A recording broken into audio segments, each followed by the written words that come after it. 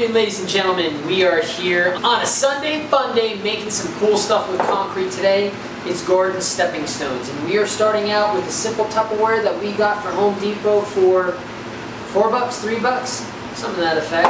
And then we also got some foam stickers here, so we're actually going to be combining something that we did with a glow-in-the-dark grout and this. We're going to try to create a um, nighttime sky, so a starry night out how I.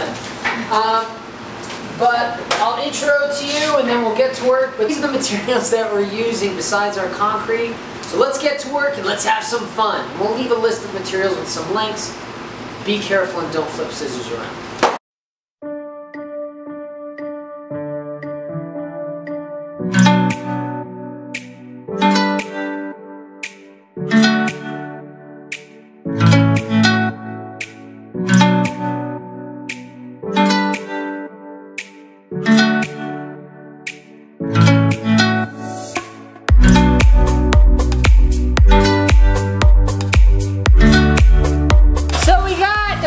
Resistant mix.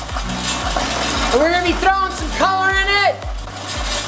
To make it look nice and pretty like the night sky.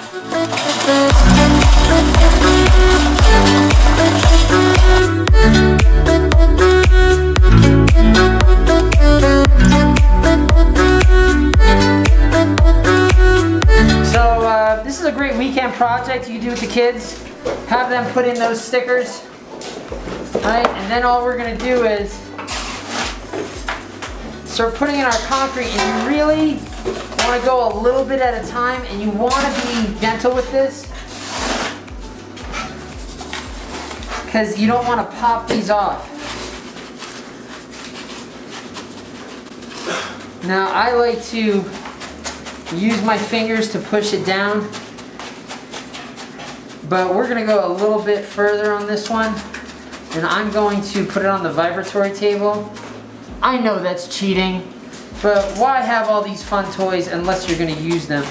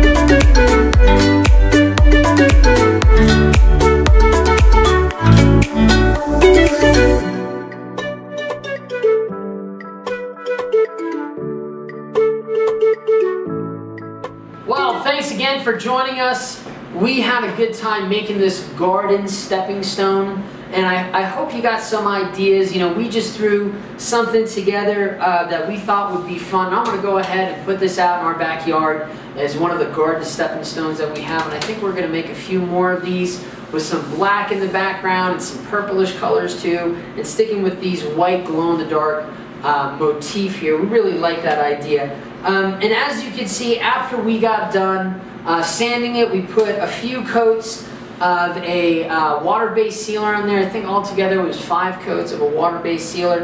Um, and yeah, she's, uh, she's good to go. So if you have any comments or questions, we hope you had a great time. Throw them down below, let us know. Don't forget to like and subscribe.